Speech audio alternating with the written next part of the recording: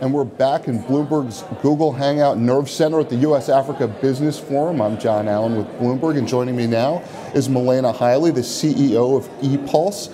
Uh, Mellena, first of all, I got to ask you, uh, what's the vibe of this conference right now? You've uh, you've had some time to, to spend here yesterday and now today, early in the morning. What's it what's it like for uh, folks who haven't been able to make the trip here? Sure. Uh, first of all, thank you, Jon, for having me on your studio. Um, it's actually very exciting out there. You have folks um, that are CEOs, business leaders, thought leaders, um, as well as heads of state, uh, individuals representing uh, civil society, and NGO. So it's really a mix of uh, different interests um, uh, that are represented at this forum.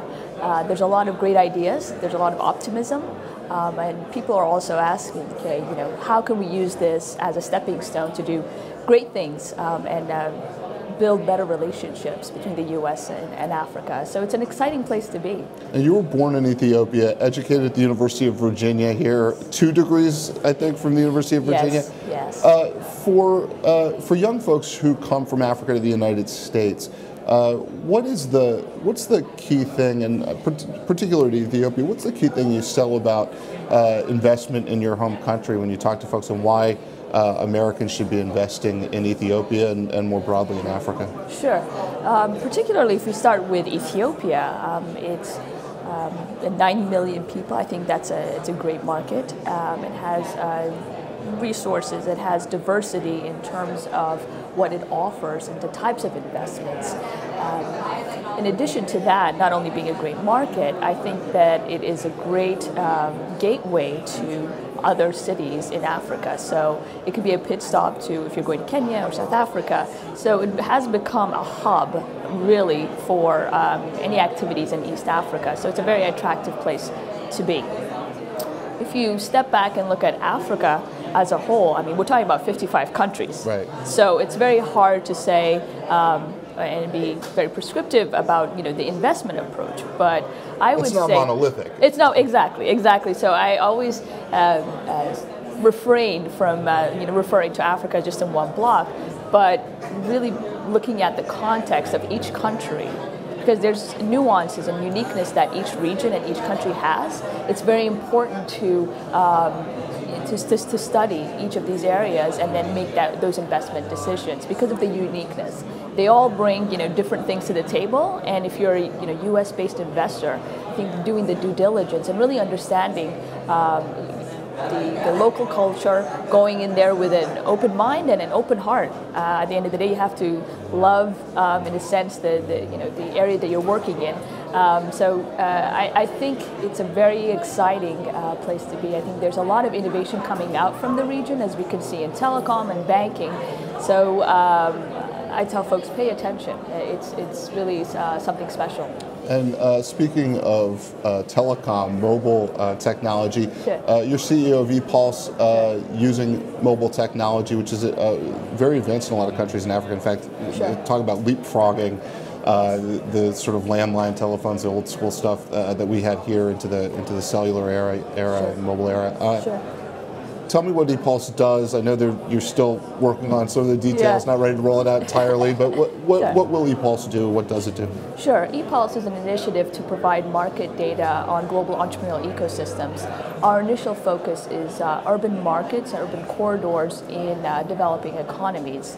Um, this actually all started by um, when I was actually studying the uh, mobile landscape in Kenya, in South Africa, particularly what was happening in mobile financial services. This is a very exciting um, industry because it is disrupting uh, a cash-based economy. Um, it is disrupting how we provide products and services uh, to consumers and users who probably wouldn't be aware of uh, that these products and services existed.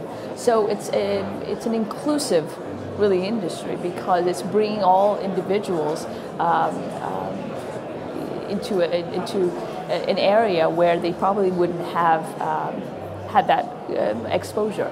And so I think this is um, a very exciting industry, not only just because you're telecom, but if you look at health and education, you know, folks are getting access to all these um, innovative ways of learning and innovative ways of conducting services, innovative ways of um, access to health. And um, I think there's a lot that the West, um, those of us based in Washington and so forth, to learn from these innovative models um, and see how we can apply it even to our own regions, even with the, uh, the fact that we have uh, sort of a legacy system. Mm-hmm. I think learning about what is happening on the ground in Africa is going to um, inform how we can address our um, domestic issues. And what do you think, uh, what's your best hope for this summit? What do you think comes out of here that's uh, valuable for you on, the, on an individual level? I mean, beyond the uh, investment that's been announced by the president today, uh, $14 billion. Uh, on a personal level, what do you hope to get out of it?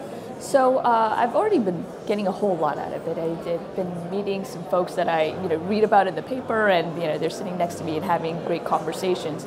Um, again, it's about capitalizing on the optimism that we see today, um, and how do we institutionalize that so that I can come back to you in a year, Jon, and say, well, you know, we had that conversation um, in August of 2014. This is look how far we've come, and these are sort of the outcomes that we've had um, in terms of U.S.-Africa business relations. Um, if we can measure and, and, and see the outcomes, I think then there's momentum behind it. People will, will buy and there will be more investments. And so that's really my hope is uh, building on the activities that we've had today, the commitments, uh, the enthusiasm, the optimism to actually have some uh, tangible um, outcomes in a year, two years, 10 years from now. And last question, if folks go to Addis Ababa, what do they have to see or do? Well, where should I start and how long do you have? Do you have a well, shout out for somewhere in your hometown, something to do or see that's? Uh...